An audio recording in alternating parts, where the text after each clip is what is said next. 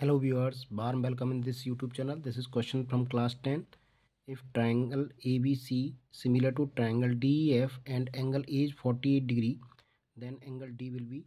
So student here are two triangle. We take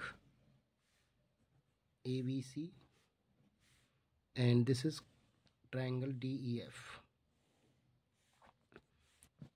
def since triangle ABC similar to triangle DEF and similar triangle respective angles are equal because AA similarity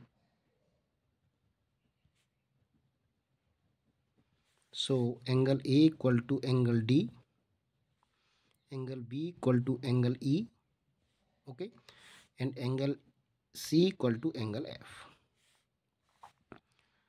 therefore.